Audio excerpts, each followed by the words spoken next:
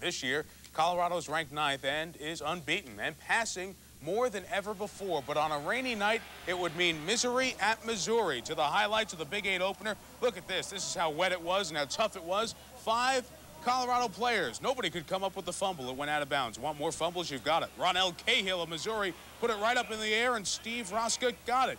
Eight turnovers in the Big Eight opener. Wind also a factor.